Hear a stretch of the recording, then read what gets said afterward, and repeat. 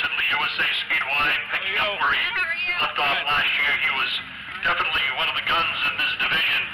Always running well, always fast, and uh, an impressive run here.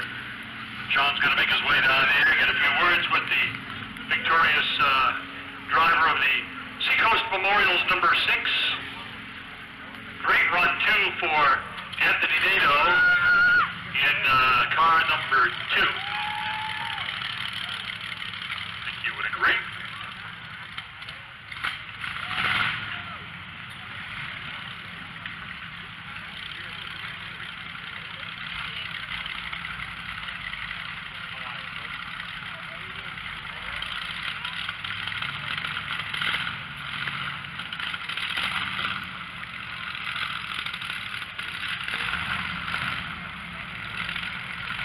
John has made his way down there to chat with the top three finishers, making his way back to the third place car, car number 29. Let's go trackside to John Espernet. John.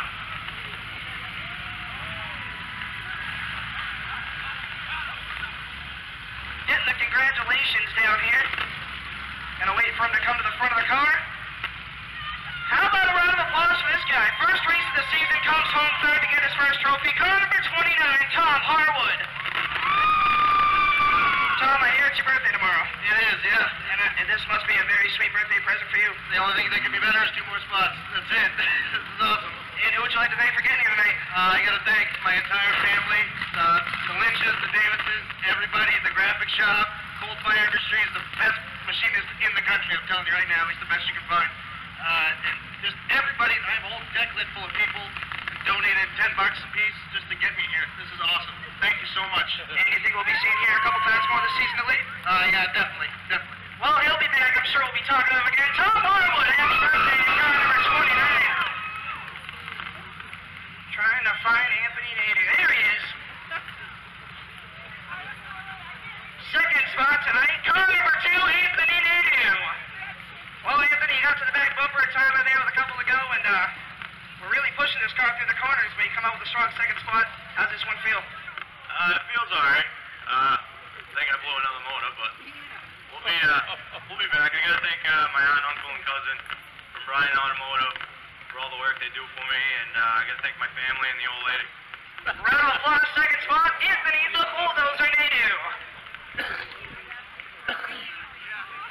some pictures with Rich Hayes Photography. And gonna move into victory lane. About a round of applause? Last year's champion and your feature winner, car number six, Tyler Maylon.